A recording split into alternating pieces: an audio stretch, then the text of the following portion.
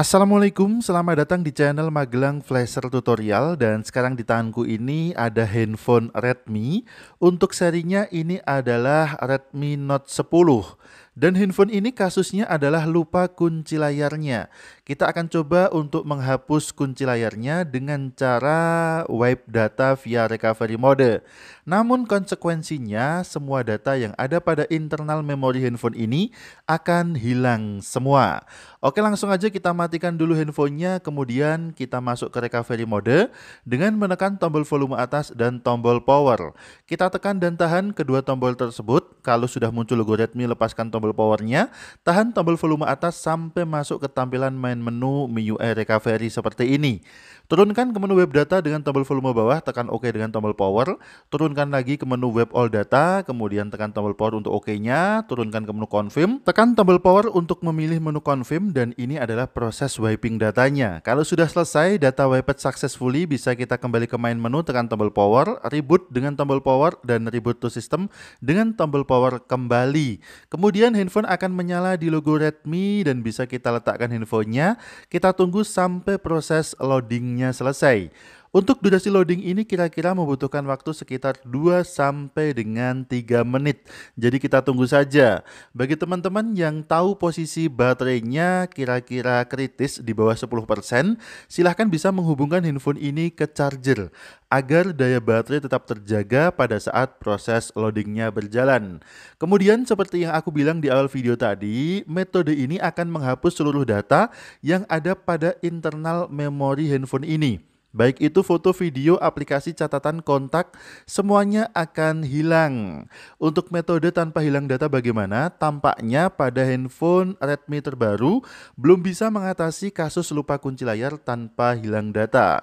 Kecuali mungkin nanti teman-teman bisa mengingat kembali akun Google-nya yang sebelumnya sudah terlogin pada handphone ini mungkin hanya kontak yang bisa kita selamatkan.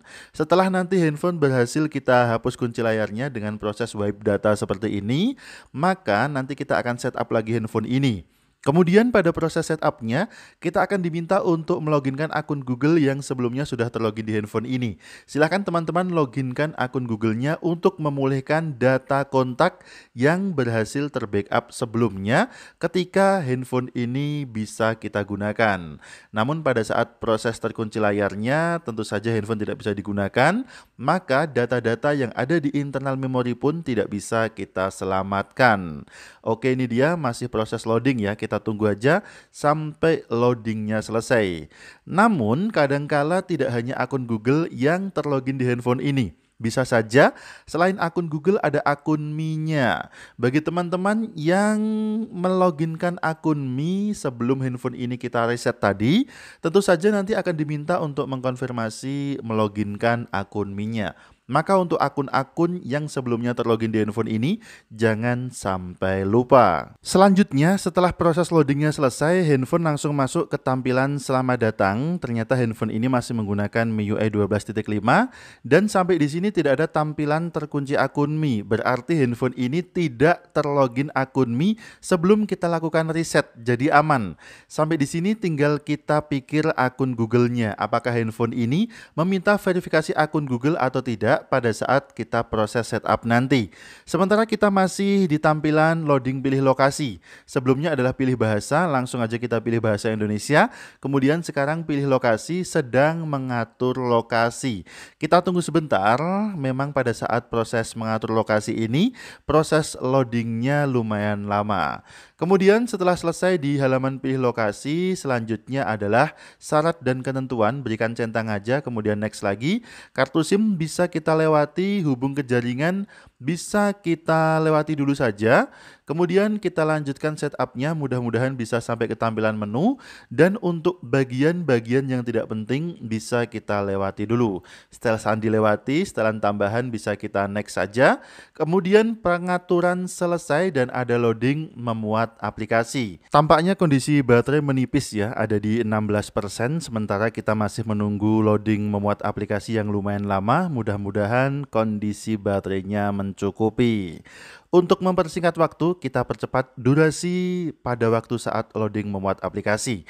Dan ternyata handphone ini tidak bisa kita setup sampai ke tampilan menu karena di sini ada tampilan belum masuk untuk menggunakan ponsel ini. Kita harus meloginkan dulu akun Google yang sebelumnya terlogin di handphone ini. Maka kita akan setup ulang handphone ini, tapi kali ini kita hubungkan handphone ini ke jaringan internet.